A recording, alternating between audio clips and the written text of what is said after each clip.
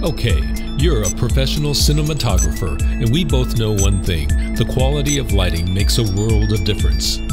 Lighting is subjective. What we see may not always be what we get, and anyone who's had to work with cinema or TV understands the difficulties of precision lighting, or even more challenging, replicating light for reshoots.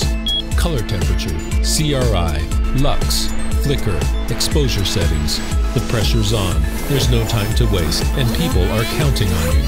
So, how do you improve the workflow? How do you take the guesswork out of lighting? What if you had a device to measure all kinds of important lighting conditions to allow you to adjust your lights by the numbers and drastically reduce setup time? But more important, what if you could record all of your light informations for future reshoots, days or weeks out? The numbers don't lie. There's no guesswork. It's one less thing. But color temperature is a little tricky. It's hard to anticipate the lights you'll be using or the ambient lighting conditions. We use gels to compensate and reach our target CT. But what gel to use? That's the question.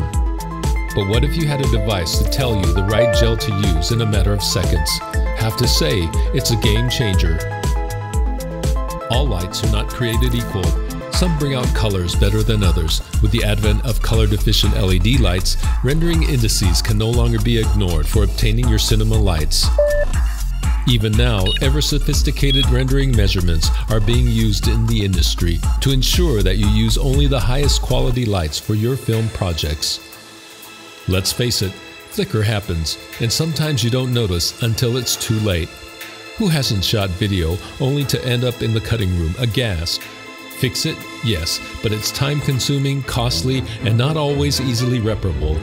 Checking your lights for flicker? Yes, can do.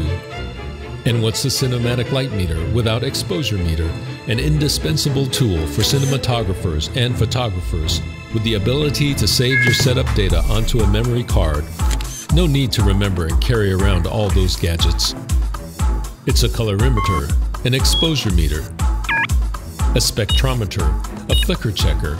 It's everything you need, and then some.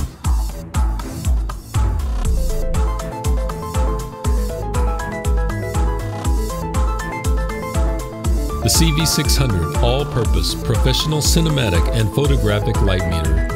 What a world of difference.